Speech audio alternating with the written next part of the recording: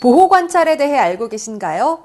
보호관찰은 범죄인을 교정시설에 구금해 자유를 제한하는 대신 정상적인 사회생활을 영위하도록 하면서 보호관찰관의 지도, 감독 및 원호를 통해 범죄성이나 비행성을 교정하고 재범을 방지하는 형사정책적인 제도입니다.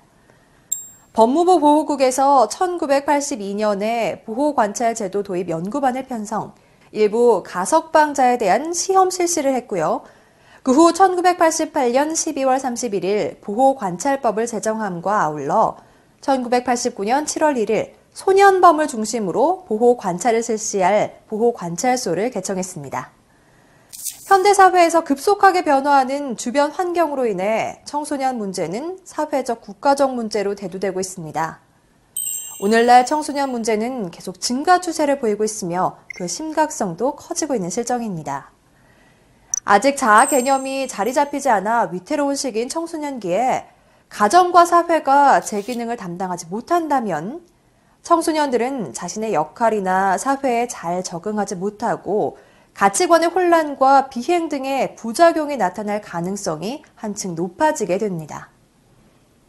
이는 2007년에는 2.2%에 달하던 청소년 강력범이 2010년에는 3.5%로 4년 연속 증가하는 청소년 범죄 추이에서 증명됩니다. 청소년 비행은 별다른 죄의식 없이 우발적, 충동적, 즉흥적으로 이뤄지고 있으며 이런 비행은 점점 일반화되는 경향을 나타내고 있다고 합니다. 현재 우리나라에서는 비행을 저지른 청소년을 위해 보호 관찰 제도가 시행되고 있는데요. 비행 청소년 교정 제도의 목적은 인격적으로 미성숙한 청소년기에 저지른 범죄를 처벌하기보다는 교정을 통해 사회 구성원으로 적응할 수 있는 기회를 주는 것입니다. 그렇지만 비행 청소년에 대한 더욱 심각한 문제는 한 번 저지른 비행의 굴레에서 벗어나지 못하고 재범을 하게 되고 지속적으로 반복되는 악순환을 거듭하게 된다는 것입니다.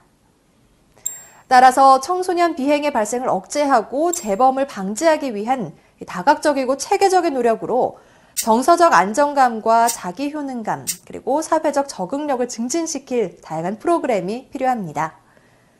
자기 효능감과 함께 중요시 되어야 할 부분은 바로 사회적 적응입니다. 사회적 적응력은 사회 환경과 조화되고 어울리며 적응하는 방법을 습득해 사회의 구성원으로 살아가는 능력으로 보호 관찰 청소년에게 무엇보다 중요한 요소가 됩니다. 다양한 예술은 청소년기에 사회적 기능 및 적응력을 발달시킨다고 밝혀진 바 있습니다. 청소년 예술 참여가 타인과의 정서적 교감을 이끌어내 사회성을 함양시키는데 중요한 역할을 한다는 연구도 나왔습니다. 사회적 관심이 필요한 보호 관찰 청소년이 다양한 예술을 경험하는 과정에서 원만한 인간관계와 정서 및 사회적 적응력을 함양할 수 있을 것입니다. 보호관찰소의 멘토링 프로그램 가이드 구성표는 다음과 같습니다. 앞으로의 학습에서 우산에 쓴 칭찬, 고민 월드컵, 나 사용법, 잔소리로 만드는 지혜의 책 과정들을 재현 상황과 함께 구체적으로 살펴보게 됩니다. 재현 상황과 실제 멘토들의 인터뷰를 통해 자신만의 성공적인 멘토링 프로그램을 설계하시길 바랍니다.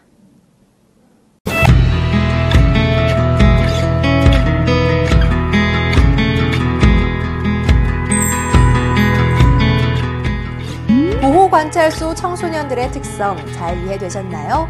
이제 멘토 선생님들 삶 속에서의 고민과 노력을 에피소드로 담아 우리의 다음 세대 멘티들에게 전할 차례입니다. 우리 멘티들이 적성과 흥미를 발견하고 앞으로의 진로를 개척해 나가고자 하는 의지를 다질 수 있도록 긍정적인 마인드 형성과 자신감 회복에 도움을 주시는 것이 중요합니다. 너희는 가치 있는 사람이야. 비행 청소년이 아닌 너희의 꿈을 펼치는 비행을 하렴. 이 한마디를 통해 우리의 멘티들이 자신의 가치를 느끼고 또 사회에 적응할 수 있도록 힘이 되어주세요.